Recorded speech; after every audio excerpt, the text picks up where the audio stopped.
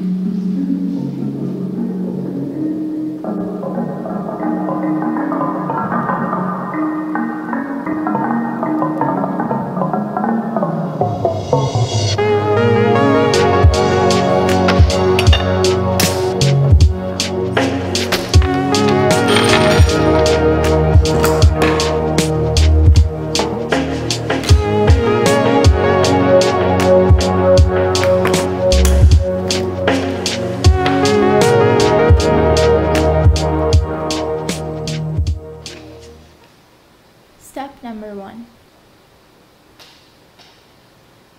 Laser cut the number one carriage wall components found in this file.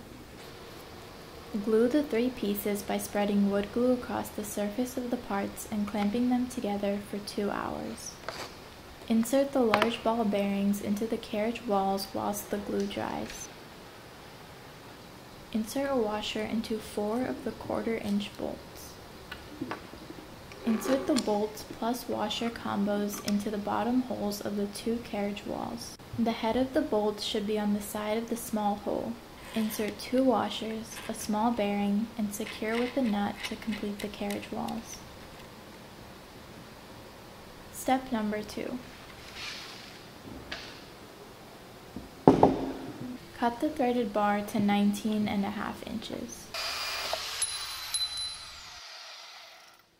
Insert one number 2 wooden donut into the threaded bar so that the outside of the number 2 line of the formatting tool aligns up to the edge of the threaded bar. Insert the threaded bar and wooden donut into the PVC pipe.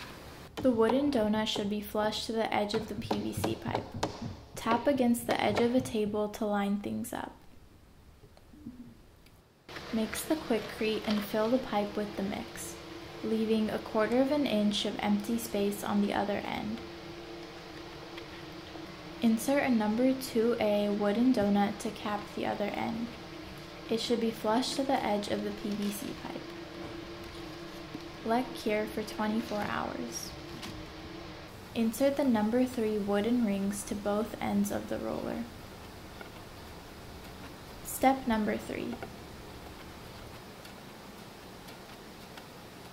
Cut the 3 quarters of an inch plywood to 17 inches by 24 inches to make the press bed. Cut 4 2 inch by 15 and a half inch bars. Home Depot will cut these for you if you don't have the appropriate cutting tools. They will charge a small fee for multiple cuts. With your metal hacksaw, saw the 3 quarters inch flat bars and the 3 quarters inch square tubing to 24 inches. Drill a hole in the center, an inch from the ends of the metal components. Precision is very important here. Use the formatting tool to help you do this.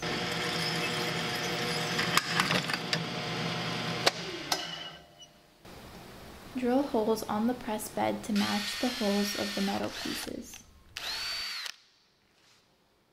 Step number 4. To assemble, screw the welt bar, square tubing, and the press bed together on one end with two of the quarter inch bolts, washers on both ends, and nuts. To make the press legs, glue or nail gun two of the 2 inch by 15 and a half inch wooden bars from earlier.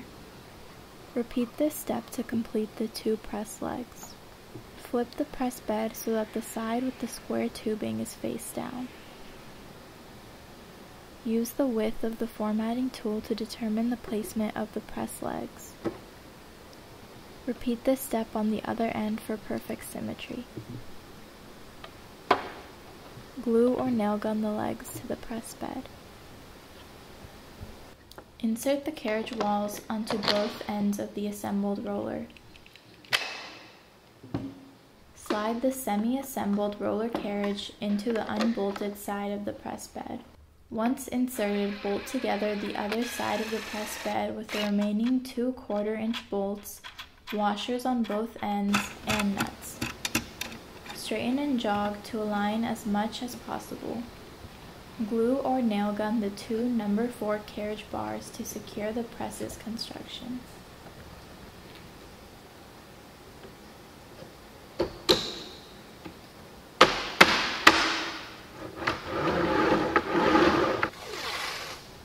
All surfaces and paint with acrylic paints.